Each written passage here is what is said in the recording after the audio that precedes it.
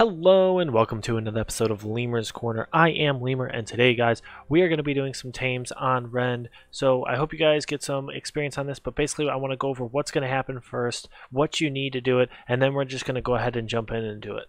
So the things you're going to need first um, are going to be a stables, uh, spirit stables. Uh, you're going to see ours right back here in the corner over here. I should have been standing in front of it right here. This is a spirit stable. From here you can craft everything you need to tame your first animal. First things are spirit arrows. You'll see those right here. Taming crystals. You'll need a way to get over to the other side. Go into the spirit world. You have choices between potions of the other side, lesser totem of the other side, or you also have what are called other sh others shrooms. Uh, they give you five seconds on the other side. So if you can get this done in five seconds, I'm also going to bring in the rough spirit siphon to help myself out if I need it.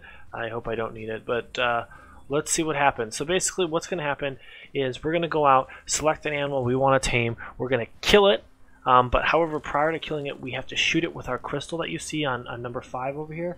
This crystal right here, we got to shoot it with number 5.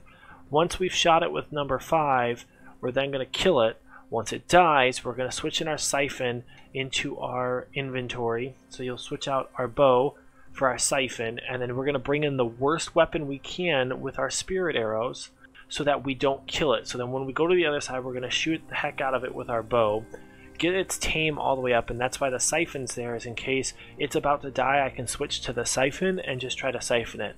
Now, the worst part of this is going to be the fact that we also are going to possibly have to fight the Lost at the exact same time and run around, so it's going to get interesting, and when you're in the spirit world, you are going to take spirit damage. So if you guys have noticed, I've got staves as number two to try to give myself a little bit of health and buy myself some time.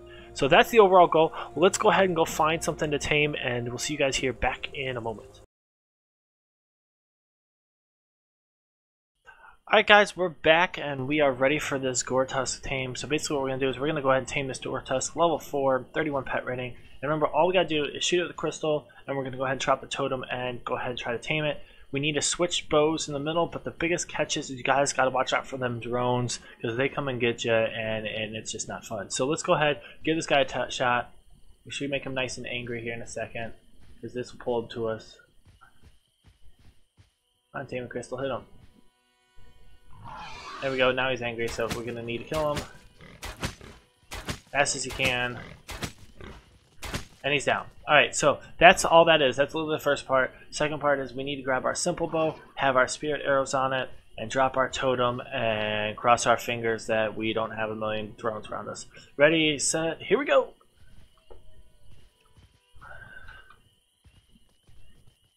I already got one, I can hear it already. So you guys want to run, pull, you guys can see his taming bars, the blue bar underneath him. You are going to take some damage on here. But you can see we're going to go ahead and get this guy really quickly. And tame successful. That is it. That's all you got to do is get that Goretusk. Now you've got him tamed. I have flesh wounds, so I'm going to take some damage here for a minute.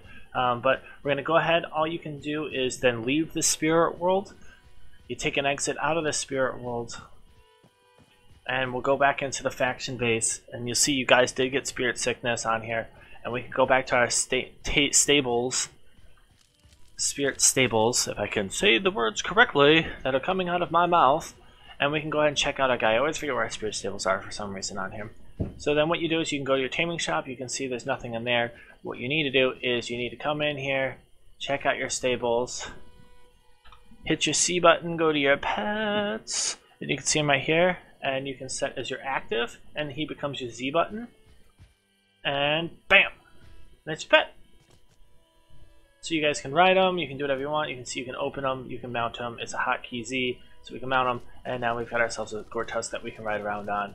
He's not the fastest thing in the world, but it's something. So that's really taming in a nutshell, guys. It's not the easiest thing in the world. I will be blatantly honest. It took me about four or five attempts to get this thing up and running finally, uh, to get it to work way I needed it to.